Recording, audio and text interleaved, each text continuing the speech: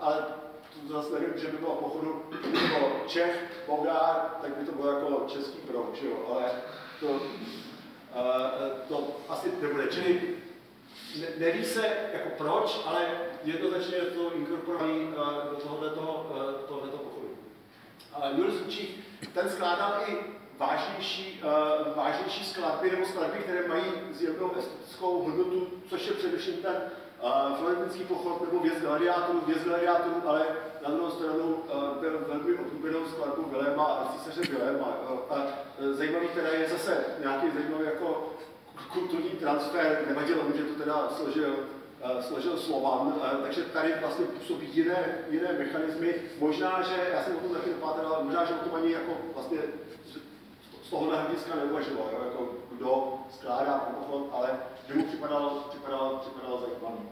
Uh, pak je tady pochod, který asi je náš takový jeden z uh, těch, nebo takhle, na který se skoro zapomnělo. Dneska, když se řekne pochod Castaldo, tak uh, nikdo neví, čí to byl pochod. Byl to pochod pražských dětí 28. bližšího kluku.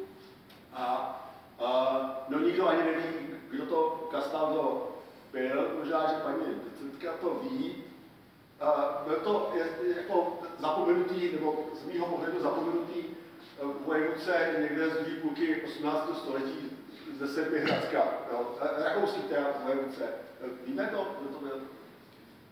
Já to taky nevím, ale čili vlastně celý ten pochod dneska je velmi zapomenutý, ale v dnešní době to byl neuvěřitelně, ale opravdu neuvěřitelně populární, uh, populární pochod. A to se dostává k první takové jako charakteristice, že samozřejmě uh, uh, popularitu těch, uh, těch maršů nedělala jenom ta vlastní, ta vlastní hudba nebo ten, ten útvar, ale dělalo to i vlastně ten kontext, kterým se to pohybuje. Ukážeme si, že by to může být ten kontext těch reprezentací, dynastických reprezentací nebo reprezentací nějakých tradic, ale může to být i ten kontext, že to je navázaný na nějaký populární, teda uh, populární pluk, uh, ať už jsou to pražské děti, nebo uh, ať už jsou to uh, vídecké děti, uh, uh, nebo, nebo, nebo nějaký tyroláci, nebo něco takového.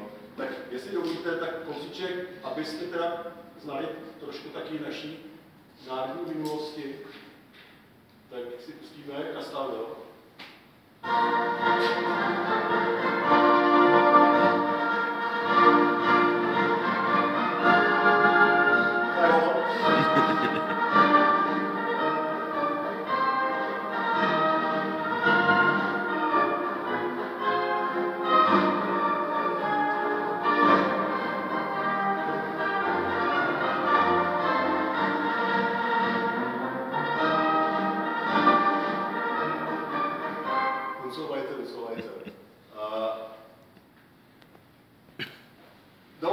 přejít uh, trošku uh, uh, k nějakému obecnějšímu, máme ještě